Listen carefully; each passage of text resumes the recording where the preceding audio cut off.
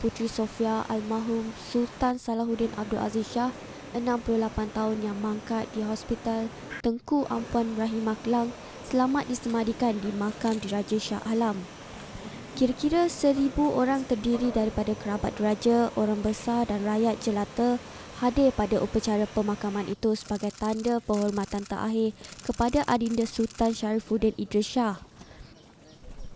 Turut mengiringi jenazah adalah Sultan Sharifuddin dan Pemaisuri Selangor Tengku Pemaisuri Nur Archikin serta Raja Muda Selangor Tengku Amir Shah.